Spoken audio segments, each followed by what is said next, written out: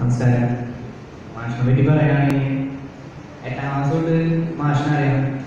എട്ടാം ക്ലാസ്സിൽ അവിടെ സയൻസ് ഫാമിക്ക് വരുമ്പോൾ അവിടെ ആദ്യം സ്കൂളിൽ സെലക്ഷൻ വയ്ക്കും സെലക്ഷൻ വയ്ക്കുമ്പോൾ ആദ്യം നമ്മൾ ഈ മാഷിനെ കാണുമ്പോൾ വലിയൊരു കരിപ്പ് നമ്മൾ നമ്മൾ സംസാരിച്ച് കഴിഞ്ഞ് കഴിഞ്ഞാൽ അപ്പോൾ പൊട്ടിത്തെറിക്കുന്നുള്ള രീതിക്ക് ആ ഒരു രൂപവും ഭാവവും അങ്ങനെ ഒരു ആളായിരുന്നു. എൻട്രി മാഷ് എന്ന് പറഞ്ഞു കഴിഞ്ഞാൽ നാളത്തിലുള്ള ആൾക്കാർ മാത്രമാണ് മാഷിന്റെ ആ ഒരു സ്വഭാവം അല്ലെങ്കിൽ മാഷിന് മാഷിന്റെ ഉള്ളിൽ എത്ര കുട്ടിത്തമുണ്ട് അല്ലെങ്കിൽ മാഷ് എവിടെയാണോ നിൽക്കുന്നത് അവരുടെ ആൾക്കാരുമായിട്ട് അഡ്ജസ്റ്റ് ചെയ്ത് പോകാൻ പറ്റുന്ന ആ ഒരു മനസ്സിൽ നിന്ന് നാടകത്തിന്റെ ഉള്ളിലുള്ളവർക്ക് മാത്രമാണ് അറിയാൻ പറ്റുള്ളൂ. എട്ടാം ക്ലാസ്സിൽ സെലക്ഷൻ കിട്ടാനായപ്പോൾ ഒരുപാട് മനസ്സിൽ ഇങ്ങനെ പറഞ്ഞിട്ടുണ്ട് ഇയാൾ എന്തും മനുഷ്യനാണ് വെറുതെ ചൂടാണ് പിന്നെ പിറ്റേ വർഷം ഒമ്പതാം ക്ലാസ്സിൽ സൈൻസ് സെലക്ഷൻ കിട്ടിയപ്പോഴാണ് അടുത്ത് അടുത്തറിയുമ്പോഴാണ് മാഷ് ഇത്ര അധികം കോപ്പറേറ്റീവ് ആണ് അല്ലെങ്കിൽ ഇത്രയധികം ഫ്രണ്ട്ഷിപ്പ് ഉണ്ട് നമുക്ക് തോന്നുന്നത് ഈ ഒമ്പതാം ക്ലാസ് വരെ പഠിച്ചിട്ട് ഒരു ഒരാളെ അല്ലെങ്കിൽ നമ്മളെ പഠിപ്പിച്ച ഒരു വ്യക്തിയെ ഹൃദയം കൊണ്ട് അല്ലെങ്കിൽ മനസ്സുകൊണ്ട് മാഷം കുടിക്കുന്ന ഒരാൾ ഹെൻട്രി മാഷാണ് കാരണം അത്ര കാലം നമ്മൾ ഒരു സ്കൂളിന്റെ നാല് ചുവരുകൾക്കുള്ളിൽ പഠിച്ചിട്ട് കിട്ടാത്ത കാര്യങ്ങളാണ്. നമ്മളൊരു രണ്ട് മാസം അല്ലെങ്കിൽ മൂന്ന് മാസം മൂന്ന് മാസം മാഷുമായിട്ട് സംസാരിക്കുമ്പോൾ അല്ലെങ്കിൽ ചെയ്ത് കിട്ടുന്നത് ടെക്സ്റ്റ് ബുക്കുകളിൽ നിന്നുള്ള അറിവുകളല്ല മറിച്ച് നമ്മളെ ചുറ്റുപാടും അതായത് നമുക്ക് ചുറ്റും നോക്കുമ്പോൾ കിട്ടുന്ന അറിവുകളാണ് ഏറ്റവും വലിയ അറിവുകൾ എന്നാണ് മാഷ് പറഞ്ഞിട്ടുള്ളത്. പിന്നെ വീണ്ടും പത്താം ക്ലാസ്സിലായാലും ചെയ്തു അപ്പോഴൊക്കെ മാഷുമായിട്ട് കൂടുതൽ കൂടുതൽ അടുത്ത് മാഷിനായിട്ട് കൂടുതൽ മാഷ എങ്ങനെയാണ് അല്ലെങ്കിൽ മാഷിന്റെ സ്വഭാവം എങ്ങനെയാണ് മാഷിന്റെ ക്യാരക്ടർ എങ്ങനെയാണെന്നൊക്കെ കൂടുതൽ കൂടുതൽ അറിയാനുള്ള വർഷമായിരുന്നു പിന്നെ ഹൈസ്കൂൾ കാലഘട്ടം അല്ലെങ്കിൽ ആ കഴിഞ്ഞപ്പോൾ പൊതുവെ കോണ്ടാക്റ്റുകൾ ഇല്ലാണ്ടായി തുടങ്ങി. അപ്പം ഇടയ്ക്കിടയ്ക്ക് വിളിക്കും. വിളിക്കുന്നല്ലാണ്ട് പിന്നെ യാതൊരു കോണ്ടാക്റ്റും കണ്ട് കാണാറില്ല. അങ്ങനെ കോണ്ടാക്റ്റുകളൊന്നും ഉണ്ടായില്ല. പിന്നെ ഇടയ്ക്കിടയ്ക്ക് ഓർക്കും ഈ മനുഷ്യനെ എവിടെ വെച്ചാൽ കാണാം. ഇടയ്ക്ക് സാഹിത്യകാരങ്ങളുടെ മുമ്പിൽ കൂടെ അല്ലെങ്കിൽ സംഗീതകാരങ്ങളുടെ മുമ്പിൽ കൂടെ അല്ലെങ്കിൽ ഏതെങ്കിലും ലൈബ്രറി കൂടെ മുമ്പിൽ കൂടെ ചെയ്യും നമ്മൾ പോകുമ്പോൾ ഒന്ന് വെറുതെ തല അടിച്ച് നോക്കും. ഇവിടെ എവിടെയെങ്കിലും ഉണ്ടോ എന്ന് അറിയാൻ വേണ്ടിയിട്ട്. ഇപ്പോഴൊന്നും കാണാറൊന്നുമില്ല. പിന്നെ നമ്മൾ അറിയുന്നത് ഈ അടുത്താണ്. ഈ അടുത്ത് ഒപ്പം പഠിച്ച കുട്ടി മെസ്സേജ് ചെയ്തിട്ടുണ്ടായിരുന്നു. നമ്മളെ നാലാം ഭാഷ സീരിയസ് ആയിട്ട് ഇവിടെ മെഡിക്കൽ കോളേജിൽ കിടക്കുന്നുണ്ട്.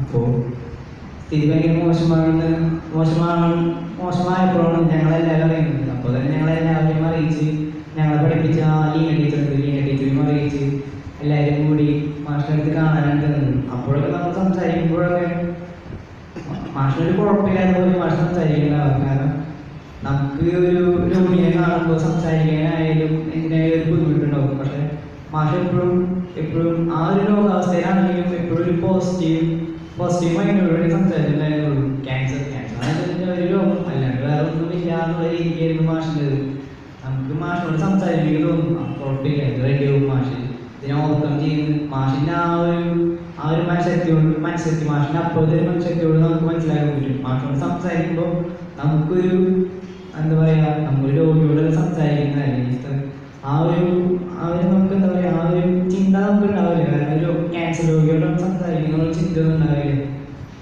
പിന്നെ മാഷോട് സംസാരിക്കുമ്പോഴാണ് നമ്മൾ അറിയുന്നത്. എന്താ പറയുക ഇത്ര അധികം അ- അവസ്ഥയിലായത് ഇത്ര അധികം ജീവിച്ചിട്ടുണ്ടായത് ആരും ഉണ്ടായില്ല. അപ്പോഴാണ് നമ്മൾ ശശിയാട്ടനെ കാണുന്നത്. ശശിയാട്ടൻ ശശിയാട്ടൻ ശശിയാട്ടൻ പ്രകൃതം വെച്ചാൽ അധികം ഉണ്ടോന്നില്ല കാണുമ്പോൾ ചിരിക്കും എന്നുള്ളൂ. പിന്നെ മാഷ് പറയുമ്പോഴേ ശശിയാട്ടനോട് അറിയണം ശശിയാട്ടൻ ഒരു ഏകദേശം ഒരു രണ്ട് മാസത്തോളം രണ്ട് മാസത്തോളം മാഷിനെ നോക്കിയിട്ടുണ്ട് രാവിലെ ഗണേഷ് മാഷ് പറഞ്ഞ പോലെ തന്നെ രാവിലെ വരും മുട്ട പാൽ പഴമൊക്കെ കൊണ്ടുവരും ഉം, ശശിയേട്ടൻ പറഞ്ഞു കഴിഞ്ഞാൽ പിന്നെ മാഷിന് ഒരു അപ്പീൽ ഉണ്ടാവില്ല ശശിയേട്ടൻ അത്രയും പേടിയായിരുന്നു കാരണം ഏഹ്, നേപ്പാളി നേപ്പാളി ശശി എന്ന ശശിയേട്ടനെ വിളിക്കുന്നത് ഒരുത്തൊന്ന് ഒരു വെല്ലോണ്ട് ഇങ്ങനെ ആക്കി മാഷ് അപ്പോൾ അവിടെ അപ്പോൾ ഒരു ചെറിയ കുട്ടിയാവും മാറി മാഷ്.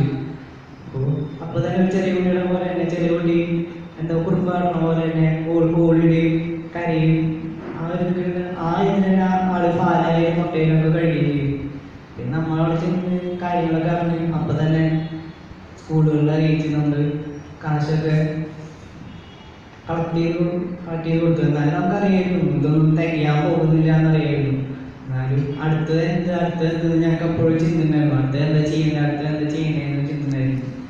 പിന്നെയാണ് മാഷിന്റെ വീട് ഇവിടെ സ്ഥലത്ത് വീട്ടിൽ പോയി നമ്മൾ വീട്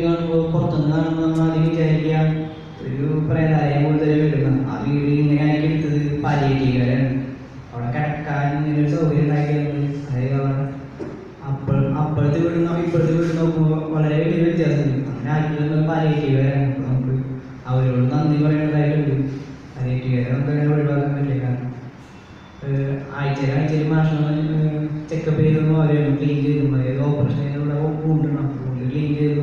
മാഷിന് ചെയ്തു പിന്നെ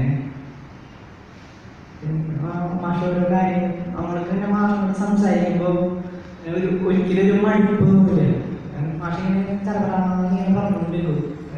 എന്തിനെ കുറിച്ച് വരുമ്പോൾ എന്തെങ്കിലും ഒരു കാര്യം ചെറിയൊരു കാര്യം ഉണ്ടായാൽ മതി. അതിനെ കുറിച്ച് ഇങ്ങനെ ഓരോന്നും ഇങ്ങനെ പറഞ്ഞുകൊണ്ടിരുന്നു നമുക്കൊരു മുഷിപ്പ് തോന്നില്ല? നമ്മൾ ഒന്നും ഇല്ലെങ്കിൽ നമ്മളത് കേട്ടിരുന്ന മതി അപ്പം ഇങ്ങനെ ഇങ്ങനെ ഓരോന്നും ഇങ്ങനെ പറഞ്ഞുകൊണ്ടിരുന്നു നമുക്കത് കേട്ട് നമുക്കത് കേട്ടിരിക്കാൻ ഒരു രസവും. കാരണം ചിലപ്പോൾ നമുക്കറിയാത്ത ചെറിയ ചെറിയ കാര്യങ്ങളൊക്കെ വെക്കും നമുക്ക് അവിടെ ഇരിക്കുമ്പോൾ കുറേ കുറേ അറിവുകൾ ചെയ്യണം നമ്മളവിടെ ഇങ്ങനെ അറിയണം. അങ്ങനെ കേട്ടിരുന്നു.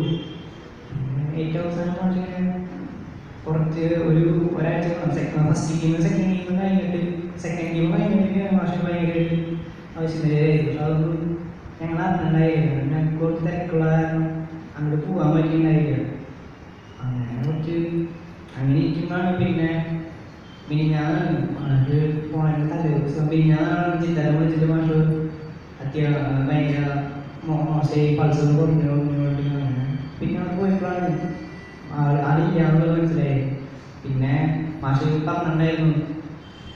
ഞാൻ ജീവിച്ചിരിക്കുമ്പോൾ തിരിഞ്ഞു നോക്കാത്ത ആൾക്കാരുണ്ടാവും. അപ്പോൾ അവർക്കൊന്നും ഞാൻ മരിച്ചു കഴിഞ്ഞാൽ പോലും അവർക്ക് ഒന്നും കൊടുക്കരുത് എന്നുള്ളത് പറഞ്ഞിട്ടുണ്ടായിരുന്നു. പക്ഷേ ഇന്നലെ ഗണേഷ് മാഷോട് സംസാരിച്ചപ്പോൾ മാഷ് പറഞ്ഞു ലീഗലായിട്ട് നോക്കുകയാണെങ്കിൽ അത് അവർക്ക് ഇനി പോവുള്ളൂ. പിന്നെ ബാങ്ക് അക്കൗണ്ടിൽ കുറച്ച് കാശുണ്ട്. ഞങ്ങൾ അവസാനമായിട്ട് മാഷ് പറഞ്ഞിട്ട് ബാങ്കുകളിൽ നോക്കിയപ്പോൾ ഒരു അമ്പത്തെട്ടായിരത്തിന് മുകളിൽ കാശുണ്ട്. അതിപ്പോൾ ഒരു ഞങ്ങളുടെ ഒരു തീരുമാനമാണ് നടപ്പിലാക്കാതൊന്നും അറിയില്ല. കാരണം മണ്ണുത്തിയിൽ ഇതുപോലെ ഒരു ചെറിയ പത്ത് വയസ്സുള്ള ഒരു കുട്ടി ഉണ്ട്. ആർ സി സിയിൽ ബ്ലഡ് ക്യാൻസർ ആയിട്ട് അപ്പോൾ വെറുതെ മാഷത്തിൽ മയങ്ങോട് കിടന്ന് കിടക്കണേക്കാളും നല്ലത്. ആ കുട്ടിക്ക് കൊടുക്കണ്ടെന്ന് തോന്നുന്നു. ആർ സി സിയിൽ പത്ത് വയസ്സുള്ള ഒരു കുട്ടിക്ക് മണ്ണുത്തിയിലുള്ളത് അതുപോലെ തന്നെ സഹായം കൂടാൻ കിട്ടാണ്ട് അവർ നോമിനി ആരാണെന്ന് നോമിനി അറിയില്ല. അവിടുത്തെ ഒരു